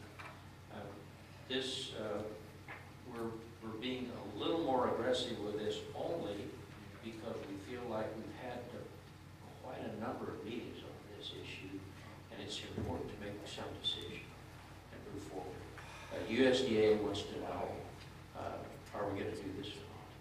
And uh, I think it's important for us uh, professionally, uh, as a town, uh, to show them that we can make decisions and, and not just continue to put it on the back burner because somebody doesn't.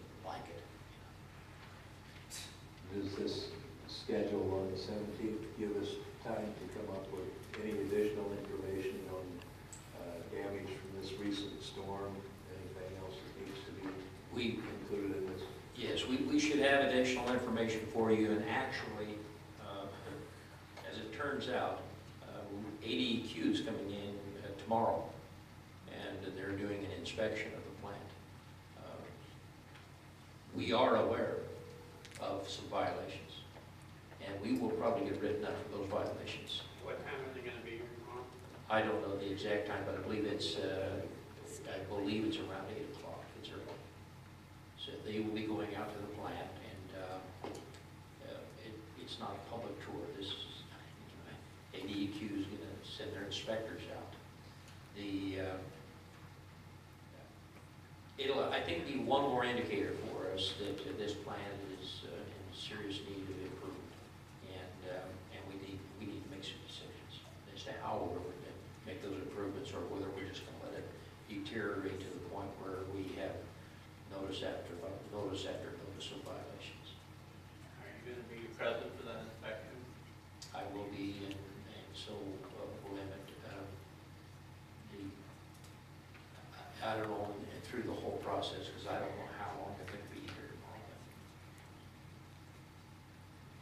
Anyone else on the council? Any questions? comments? Will we see a report?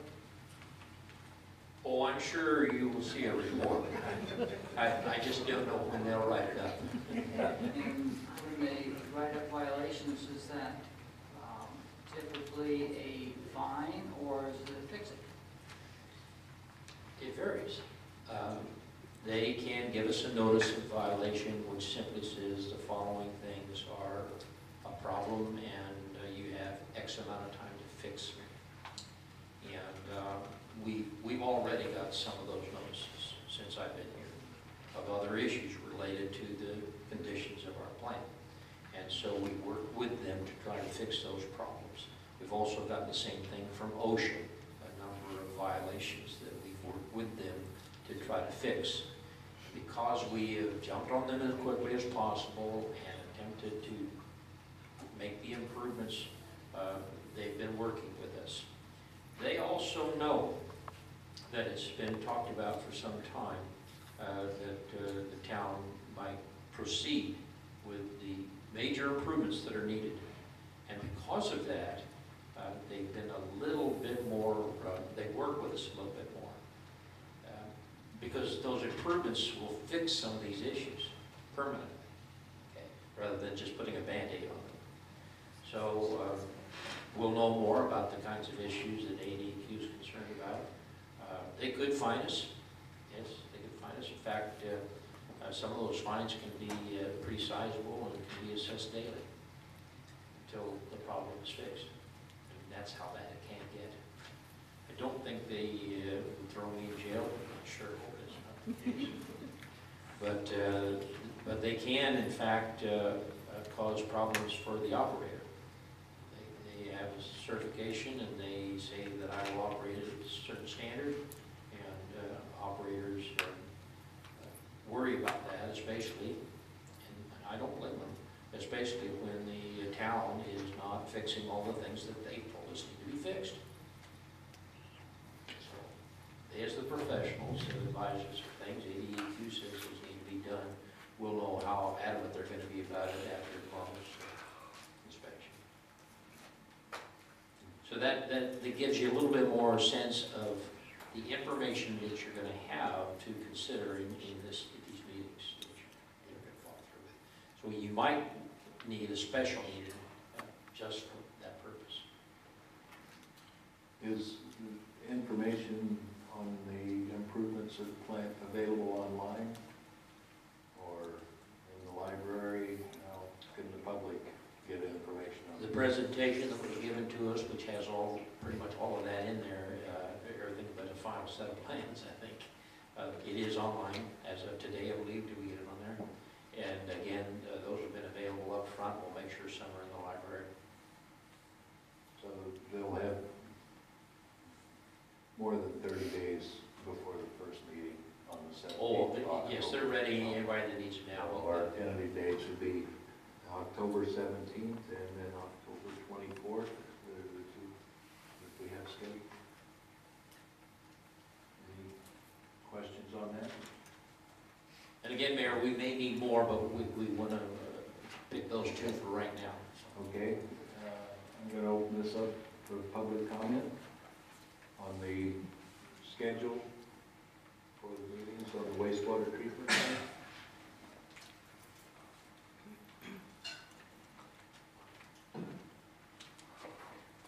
I'm uh, Paul Range, and uh, I have several um, uh, statements to make and then um, a question. Um, On the, um, right on the schedule that we were um, given for the uh, wastewater, the cost of the wastewater, Um, the bridge crane, I I think This, this is, this is only for the schedule. Oh, only for the All schedule. the Discussion is now, uh, the discussion on the bridge crane and all of that will be at the regular hearings. and, and when will that be, sir? The seventeenth of October and then the twenty-fourth of October. Okay, are the thank things you. We have I'm scheduled. sorry, I didn't understand it correctly. Thank you. Uh, I can turn in, though, the suggestions. Is that correct? Absolutely. I actually have it. I've got two more. Thank you. Thank you very much for your time.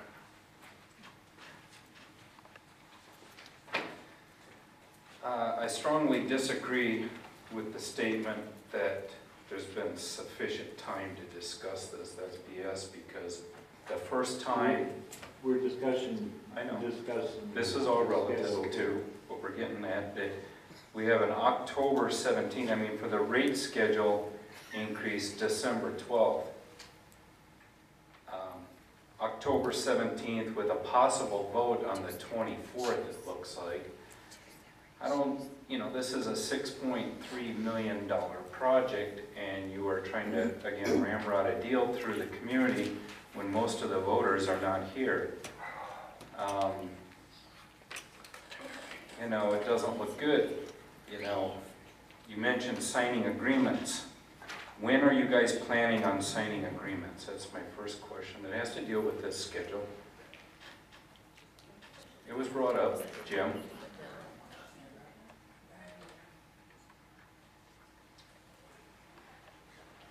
Mayor, um, it- as as I noted, the the agreements will be following the public hearing, so there's opportunity for the council to determine what direction they want to go. It will only be after the council determines what direction it wants to go that we would bring forth agreement, otherwise the agreements would not mean anything.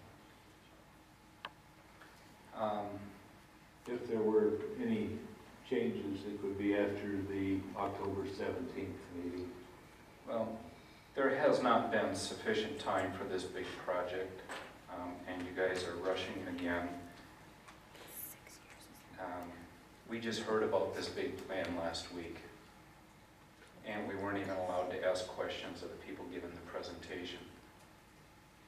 You really need to start listening to the community. Thank you. Okay, back to the, anyone else? Okay, done, back to the council for the final discussion here. Um, We all, not that we're swinging under the gun, but, but for this grant money, we have to make kind of a decision on that too, right? I mean, on the spending for the, the improvement of the plant, and if we want to do everything that we need to do, we kind of have to have a decision because that grant's still hanging out there, right? Yes, that's correct. Um, And uh, if you would like, that's another um, item that we could put on your schedule, is uh, further uh, feedback from the USDA regarding that.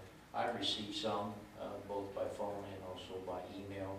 Uh, I'd be more than happy to share those, but if, if you felt it was important to have them um, come out here courtside and and explain that, uh, they might consider it. One, one last question. When is that deadline for the grant, free money? Which there is no such thing, but when is the deadline on the USDA grant? We're talking about the schedule here. So you don't want to answer that? Simple question. Mayor, I- it- it's up to you as to what you want to do. I- um, you- We're, Seems to be, we're addressing. this whole project seems to be predicated on that free money. When is that deadline? Simple question. Absolutely, that, that's a good question for you to ask at, the- at the meeting on the seventeenth.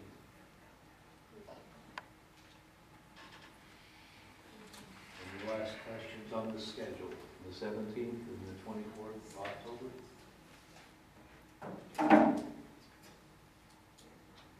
We have a motion to approve the schedule. To make a motion that we approve the tentative schedule for the wastewater treatment improvement. I second. We have a motion And a second to approve the tentative schedule of October 17th and October 24th for the hearings on the wastewater treatment plant. All those in favor signify by saying aye. Aye. Aye. Aye. Motion carried. Move on to communication, reports from the mayor. A couple of things, we had a good turnout at, at our uh, September 11th event last night at uh, Rainbow Gardens. Uh, we had, uh, Around 70 people shows up, and uh, hopefully this will keep building year after year. Uh, We had, uh, uh, was a meeting held at the Bells, and uh, it was a beautiful ceremony. I- I wish we could have the whole town show up for those events. Uh, We need to do something, think, on our sound systems. Here, We keep having a problem all the way around. So I'd like to see something on the schedule to do something about getting some uh, extra microphones over there and getting the sound system work a little better. We, we had reports of a body being seen floating down Tyson Wash. Do we have an update on that? Uh, Last, yeah.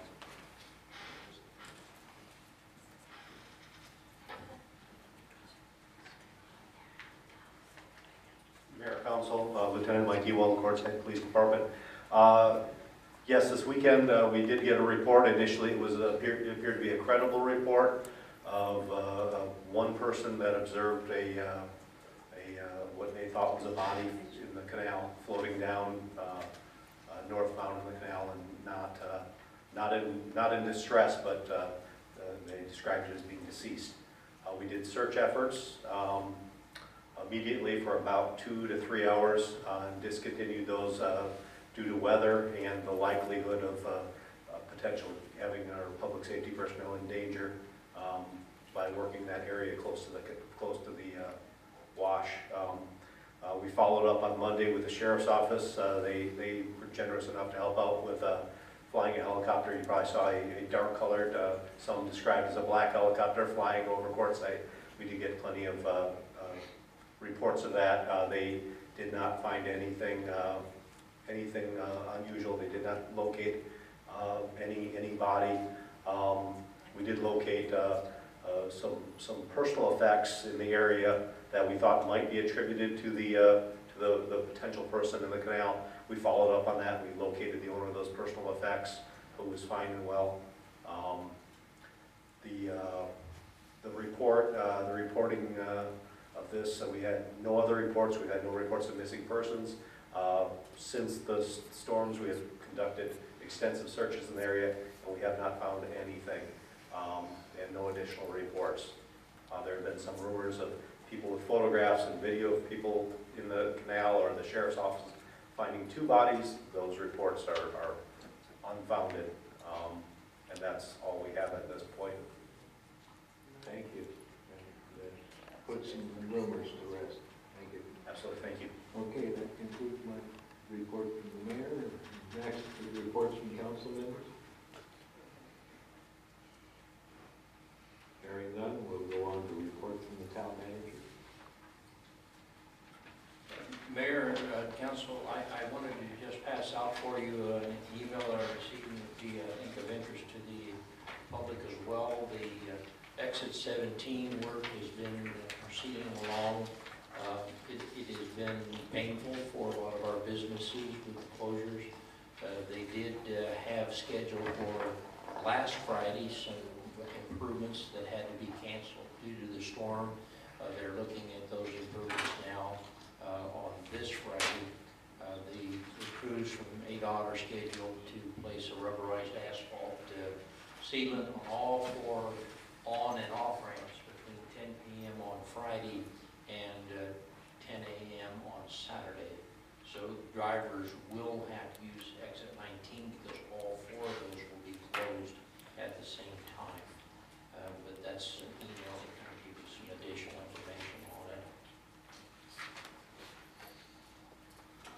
will be very happy with this. And I know the businesses will.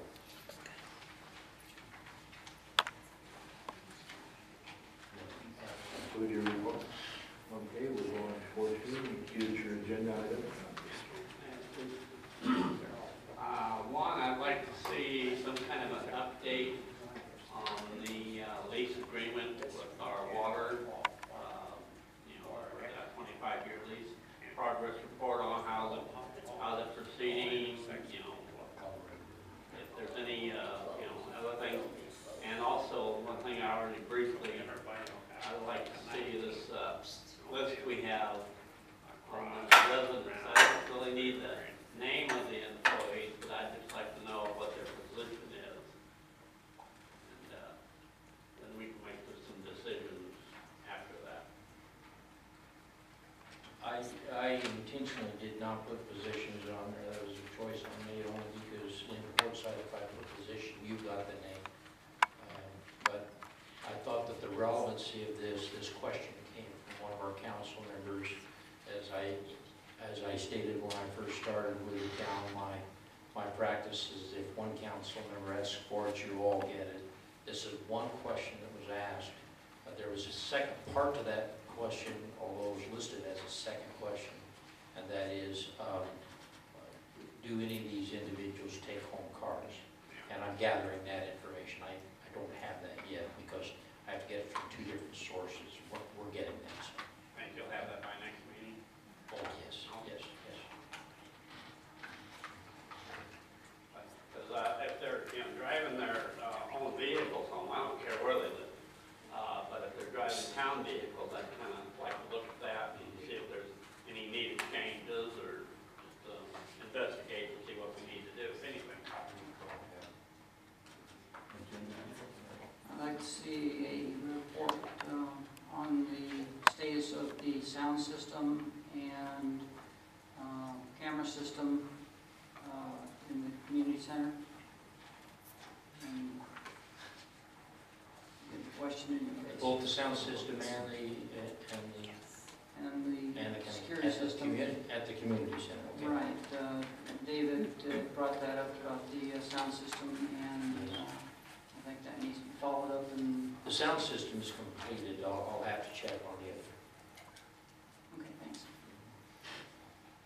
Anyone else with any agenda